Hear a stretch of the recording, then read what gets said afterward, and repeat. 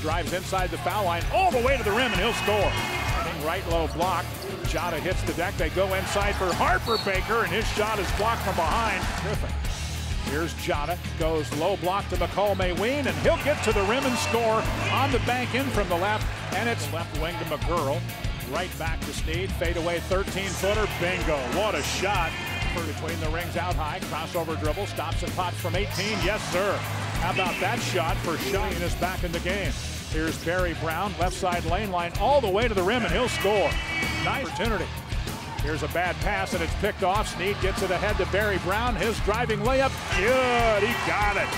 Score as we go under four minutes to play. Here's Xavier Sneed. Jumper, good. Right side from 17 feet. Ball. It's a 12-point game. There's the back cut and a steal by Barry Brown, and he brings it all the way to the rim. Layup, yes, and a foul. Big time play there by Barry Brown. He's Xavier Sneed driving inside into the corner.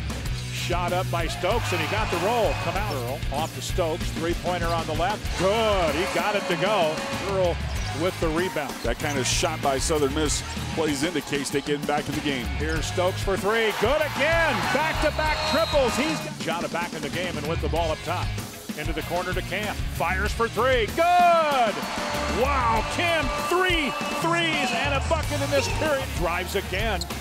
No foul called here. Stockard the rebound. He'll score with the left hand.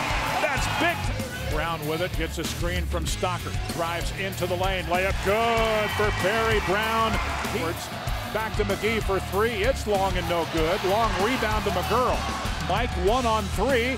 Layup good.